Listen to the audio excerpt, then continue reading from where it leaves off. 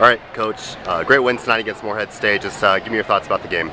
Uh, you know, the thoughts that you two solid teams on both sides. Um, and, and, the thing that I'm really proud of the girls is that they played a solid game all the way through. They were consistent, um, and it was a clean game. We minimized our mistakes from last night, and so we were able to focus on just working extremely hard and going in that direction.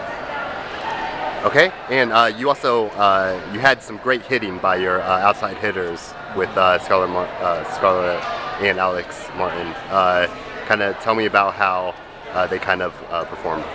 Well, you know, it, it, was good that we were able to get the performance out of them that we've gotten. And the one thing that kind of helped in that is that our right side started producing, um, and then our middles are being consistent in there. So having all of our hitters mixing it up created opportunities for outsides to do extremely well. Um, it, you know, and it, it just opens up for a little bit easier opportunity for any hitter to be successful is when all three positions are doing well.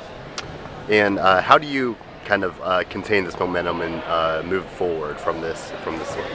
You know what we will do. We will look at this match, and it was a great win. Morehead's a great team. Um, and we'll look at how we minimize mistakes and how we were focused coming into this match. And that way, when we go into practice on Monday, we'll try to keep that same uh, mentality, the same relentlessness that they came into in set three, and be able to take that to TSU on Tuesday. All right, thanks, Coach. Thank you.